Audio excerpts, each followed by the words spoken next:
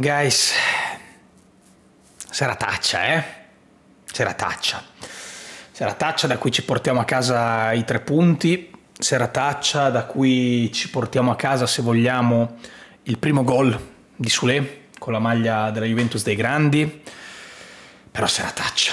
Serataccia di cui ho già parlato un pochettino, non tantissimo, ma nel primo post partita su numero 10, quindi se avete voglia di andare a prendere anche quella parte di post partita che non tratteremo in questo video, vi invito a scaricarlo gratuitamente dal link in descrizione.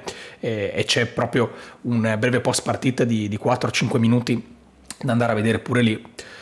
Però volevo spendere qualche parola anche qui sul canale perché io sono stanco, io, io, io sono veramente stanco di, di, vedere le stesse cose. Perché arrivati a, al 12 di marzo io mi aspetto decisamente di più da una squadra come la Juve, che sarebbe sì seconda ai punti conquistati sul campo in campionato, ma non è questo il punto.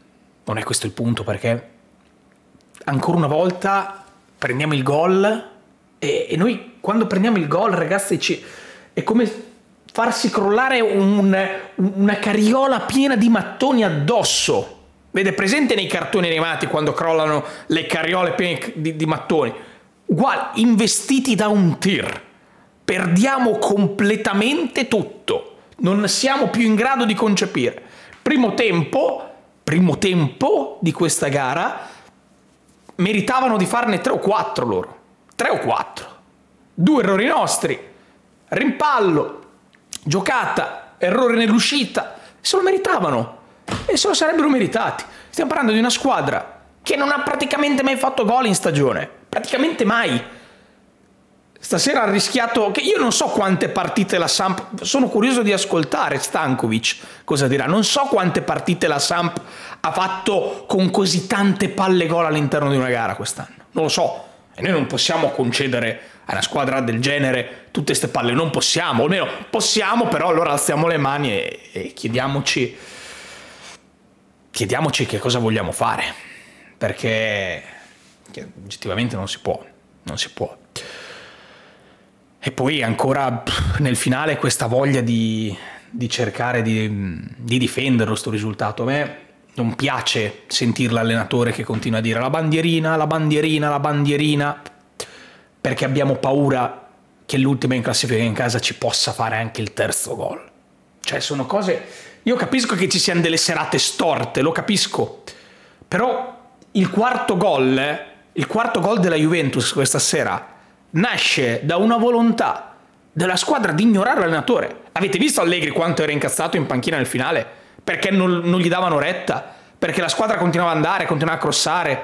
Danilo che mette la palla di là sul secondo per, per quadrado. Le, il, il calcio d'angolo che viene battuto. Tutte cose che Allegri non voleva. Tutte cose che Allegri chiedeva di aspettare, di ragionare perché il 3-2 andava benissimo, certo, ti porta a casa i tre punti, però questa squadra, io credo che anche i giocatori stasera abbiano avuto quel moto d'orgoglio da pensare, ragazzi, ma saremo comunque ben più forti di questi? Abbiamo fatto delle paperate, perché abbiamo fatto delle paperate nel primo tempo, due palle gol le regaliamo, perché siamo de- dei polli, siamo dei tocchi, due palle gol le regaliamo, un minuto di matta glielo regaliamo, io, io, io, credo che un giocatore della Juventus questa sera in campo debba aver pensato, qualsiasi giocatore della Juventus debba aver pensato, ma ragazzi, ma, ma sul serio, comunque noi a questa Samp non siamo in grado di dargliene quattro? E meno male che, che ci siamo riusciti, con anche un rigore sbagliato, la mala sorte, il palo di, di, su, di Vlaovic su rigore, la, la, traversa di quadrado, il nuovo palo di Vlaovic su il tappin di Sule io stasera mi porto a casa Miretti, che mi è tornato a fare una prestazione fatta bene finalmente, Fagioli, che mi va a fare quella prestazione sempre di, di, contenimento, di gestione, senza palla si muove, Rabiot, che mi va a fare la doppietta, e il primo gol di Sulema. Per il resto io stasera faccio fatica a portarmi dentro delle, delle cose davvero positive, eh? Perché io stasera ho visto delle cose molto preoccupanti, molto preoccupanti per una squadra che tra quattro giorni deve andare a giocarsi un ritorno degli ottavi di Europa League. Non sto parlando della finale di Champions. Non sto parlando della finale di Champions. Ma se la Sampdoria è in grado di metterci sotto, è in grado di metterci sotto e con questa facilità. Eh ragazzi, due domande vanno fatte e vi prego, guardate, ve lo chiedo per cortesia, non venitemi a dire, eh sì, però sai, mancava Di Maria, eh lo sai, però mancava Chiesa, lo sai, però mancava Pogba. A loro? Non mancava nessuno? Non mancava nessuno a loro? Giocavano senza il portiere titolare. Il portiere da loro aveva mai giocato in porta, ragazzino che aveva mai giocato in, in Serie A, l'esordio, all'Allianz Stadium con la Juventus.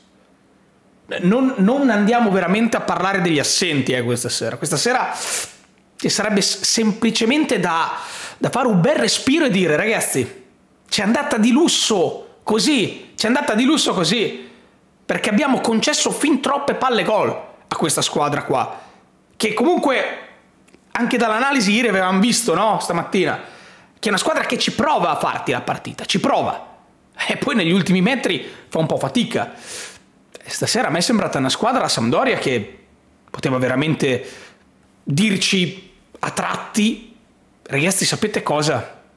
Stasera non la vincete.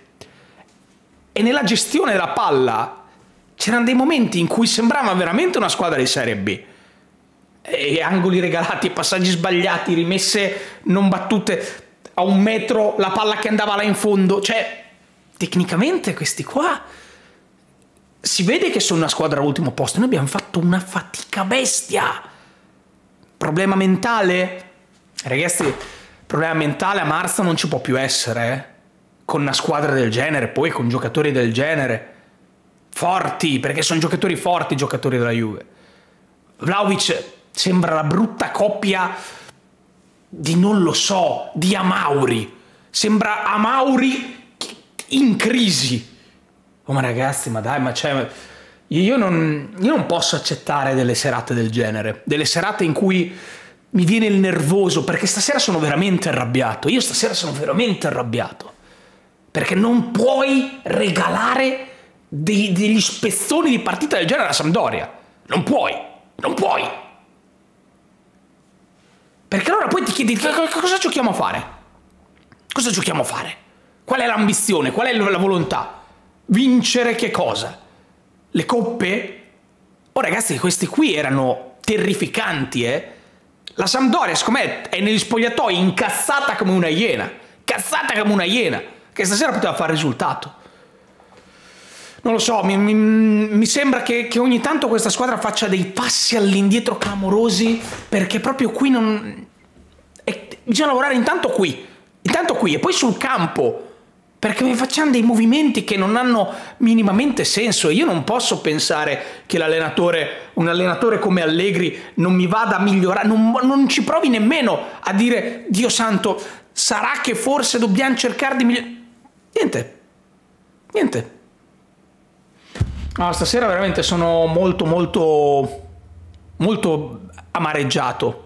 Porto a casa la vittoria perché, meno male, che sia riusciti a vincere con l'ultima in classifica, anche se avevo il sentore che potesse andare veramente male da prima della partita, ma così tanto non sarei riuscito a scrivere un thriller con questa, con questa trama.